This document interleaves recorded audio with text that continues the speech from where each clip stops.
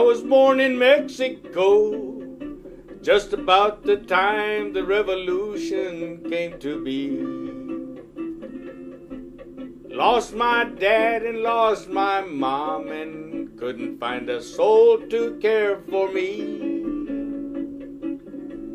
Like tumbleweed I rolled, never knowing where to find my destiny. So I crossed the Rio Grande, hoping, looking, and trying to find a family. By the time I got to Mission, I had learned to take good care of me. Learned to fight, learned how to fish and hunt. I could even sing in harmony with the body of a boy and the mind of a discerning PhD. I had learned to ride the wind and land on top, always landing on my feet. When I finally joined the army, I had found my family.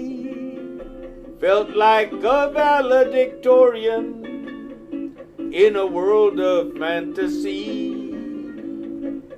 When the Germans came out fighting, they just made my day for me. I prayed that they keep on coming and take this rage right out of me. I could break a horse, hop a train, or hitch a ride to get to where I had to be. I boxed as Kid Mendoza, showing 52 fights won and losing only three. My whole life had been a blessing, a university for me. And once on a disabled ship, I ate bananas to survive three weeks at sea. When I finally joined the army, I had found my family. Felt like a valedictorian in a world of fantasy. When the Germans came out fighting, they just made my day for me.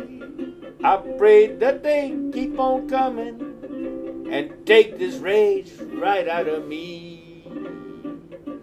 Take this rage right out of me.